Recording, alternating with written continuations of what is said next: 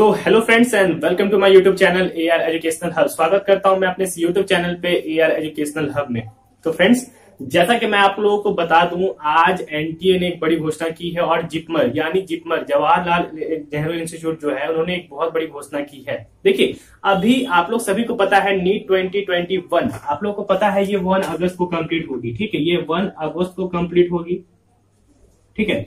तो बट इससे एग्ज़ाम से पहले अभी इसकी रजिस्ट्रेशन डेट नहीं आई है। रजिस्ट्रेशन डेट नहीं आई है और कुछ ऐसे अभी न्यूज़ सामने आ रहे हैं, जैसा कि इसमें जो इसका पैटर्न हो गया और भी कुछ इसमें बहुत सारे न्यूज़ इसमें चेंजेस आ रहे हैं कि ये सीबीटी पे होगा या फिर एग्ज़ाम कब होगा। और एक तो एक कोरोना। कोरोना भी बढ़ते जा रहा है और ऐसे समय पे हो सकता है कि कहीं अगर कुछ स्टेट में लॉकडाउन लगते हैं तो सिचुएशन ऐसी भी आ सकती है कि नीट पोस्टपोन हो सकता है। नीट पोस्टपोन हो सकता है, ऐसा सिचुएशन आ सकता है।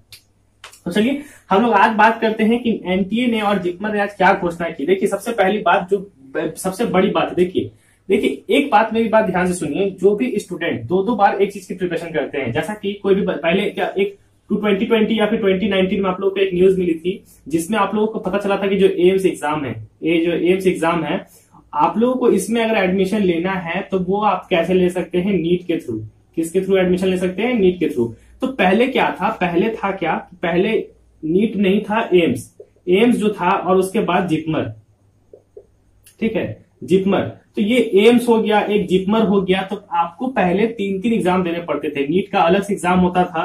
एम्स का आपका अलग से एग्ज़ाम होता था, जिपमर का आपका अलग से एग्ज़ाम होता था। ठीक है? बट अब क्या हुआ है, एक बहुत ही अच्छी बात सामने आई है कि अब जितना भी एग्ज़ाम होगा, वो आपका एडमिशन जो होगा, नीट के थ्रू होगा। चाहे आप एम्स में ले या फिर आप जिपमर में, ये सारा एडमिशन आपका नीट के थ्रू ही होगा। तो ये तो बहुत ही पहले आप लोगों को पता चल गया होगा, बट एक और न्यूज़ आज सामने जो आई है, चलिए मैं बताता हूँ आप लोगों को। कुछ दिन पहले एक न्यूज़ सामने आया था कि नीट के थ्रू नीट देखिए, अभी ये बिल्कुल सही है ये जो रूल है, ये जो टाइम है, बिल्कुल सही है। अभी आप लोगों को एक न्यूज़ सामने आया होगा कि बीएससी नर्सिंग जो बीएससी नर्सिंग जो है, वो अगर आप लोग को करना है किन्हीं को भी तो वो आपका एडमिशन नीट के थ्रू ही होगा।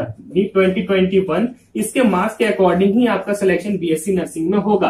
क्योंकि पहले क्या होता था बीएससी नर्सिंग के लिए आपको अलग से कोर्स करना पड़ता था बीएससी नर्सिंग के लिए आपको अलग से इंट्रेंस देना पड़ता था, और आयुष मंत्रालय हो गया, और भी कुछ कुछ ऐसे फैकल्टीज हैं जिसके लिए आप लोगों को नीट का ही ज़रूरत पड़ेगा अब, ठीक है? तो बीएससी नर्सिंग ये बहुत ही इंपॉर्टेंट न्यूज़ है। बीएससी नर्सिंग के लिए आपको अलग से इसका एंट्रेंस नहीं देना पड़ेगा। नीट में जो आपका मार्क्स आएगा, उसी के अकॉर्डिंग आपको यहाँ पर कॉलेजेस अलाउट होंगे। दूसरी बात कर ले कि जिपमर ने भी आज घोषणा कर दिया है कि जो जिपमर जो जिपमर है, जवाहरलाल नेहरू इंस्टीट्यूट, उन्होंने ये कहा है कि आप लोगों का जो नीट में मार्क्स आएगा उसी के अकॉर्डिंग बीएससी नर्सिंग में भी आप लोगों को यहाँ पर एडमिशन मिलेगी। जो बीएससी नर्सिंग होता है, उसी को यहाँ पर आप लोगों को एडमिशन मिलेगी इसी के नंबर पे अकॉर्डिंग पे। तो देखिए, जहाँ तक ये बात माना जाए तो ये बात बहुत ही अच्छी है। क्योंकि देखिए नीट में अगर ज़्यादा से ज़्यादा फैकल्टी बढ़ा दी जाएगी तो ये बहुत अच्छा है। जो भी बच्चे नीट करने के बाद परेशान हो जाते हैं, उनका सिलेक्शन नहीं हो पाता है, कुछ मार्क्स रह जाते हैं तो अगर वो सोचते हैं कि मुझे कहीं एडमिशन मिल जाए, उनका एक साल बर्बाद नहीं हो तो वो बच्चे क्या करते हैं, फिर दूसरा इंट्रेंस देते हैं, फिर उसके लिए दूसरा इंट्रेंस देते हैं। तो उससे बेटर है कि जितने भी स्टूडेंट हैं, पहले देखिए क्या था, आप कोई आईसीएमआर उसके लिए आप प्रिपरेशन कर रहे हो, फिर जिपमर के लिए प्रिपरेशन कर रहे हो एम्स के लिए प्रिपरेशन कर रहे हो बीएससी नर्सिंग के लिए प्रिपरेशन कर रहे हो एग्रीकल्चर के लिए कर रहे हो वेटनरी के लिए कर रहे हो, फिर फार्मेसी के लिए कर रहे हो तो जितना भी आप लोग ये सब है ये सब के लिए आपको अलग से आपको प्रिपरेशन करना पड़ता था। बट देखिए कभी अब अब ऐसा होगा सिचुएशन लगभग आ रही है कि सभी एग्ज़ाम जो है, एक साथ नीट ले लिया जाएगा और नीट के मार्क्स के अकॉर्डिंग ही आप लोगों को यहाँ पर कॉलेज अलॉट हो जाएँगे, जो कि बहुत ही सही रहेगा। ताकि आप लोग का जो भी साल है, वो बर्बाद नहीं होगा। जिनका जो भी मार्क्स आएगा, उनके अकॉर्डिंग वो कॉलेज अपना ले सकते हैं, ठीक है?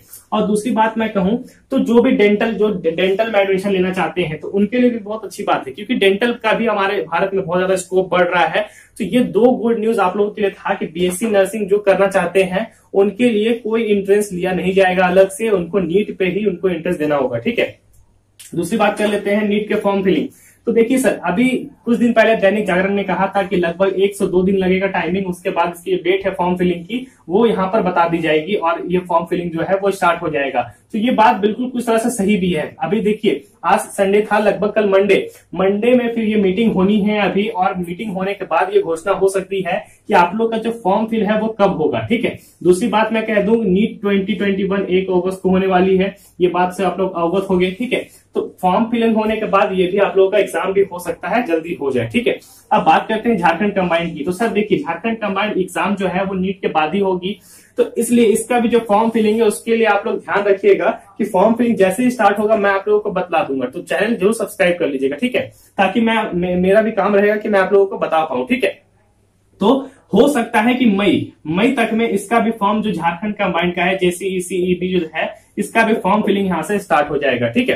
तो डॉक्यूमेंट आपको देखिए फॉर्म फिलिंग जब स्टार्ट होंगे तो डॉक्यूमेंट्स आपको क्या क्या रखने हैं? आपका टेंथ का सर्टिफिकेट ट्वेल्थ का सर्टिफिकेट ईडब्ल्यूएस कैरेक्टर सर्टिफिकेट और भी जो सर्टिफिकेट आपको लगते हैं, यहाँ पर वो आप इसको यूज़ कर सकते हैं। और जिनका ईडब्ल्यूएस बना हुआ है, जिनका ईडब्ल्यूएस बना हुआ है, वो ज़रूर इस बात को ध्यान रखिएगा कि अगर आपका ईडब्ल्यूएस बना है, तभी उसका यहाँ पर नंबर डालना है, अन्यथा नहीं डालेंगे। क्योंकि जब जब आपका काउंसलिंग होगा, उस दौरान अगर आपसे मांग लिया जाएगा तो फिर आपको वहाँ पे काउंसलिंग में दिक्कत आ जाएगी, ठीक है? तो ये दो न्यूज़ थे और फॉर्म फिलिंग के डेट और झारखंड कंबाइन के डेट थे, ठीक है? तो आई होप आपको ये वीडियो पसंद आया होगा तो जो भी चैनल पर न्यू है प्लीज़ इस चैनल को सब्सक्राइब कर लीजिएगा बेल प्रेस कर लीजिएगा मिलते हैं नई वीडियो के साथ। तब तक के लिए आप सभी को धन्यवाद। और हमारे चैनल को ज़रूर सब्सक्राइब कर लीजिए, जो भी इसमें अभी वीडियो अपलोड होते हैं प्लीज़ उसको आप लोग देखिए। केमिस्ट्री और बायोलॉजी के बहुत सारे ट्रिक अपलोड होने हैं हमारे चैनल पे तो प्लीज़ आप लोग उसको ज़रूर देख सकते हो, ठीक है? चलिए मिलते हैं इस वीडियो में, तब तक के लिए धन्यवाद।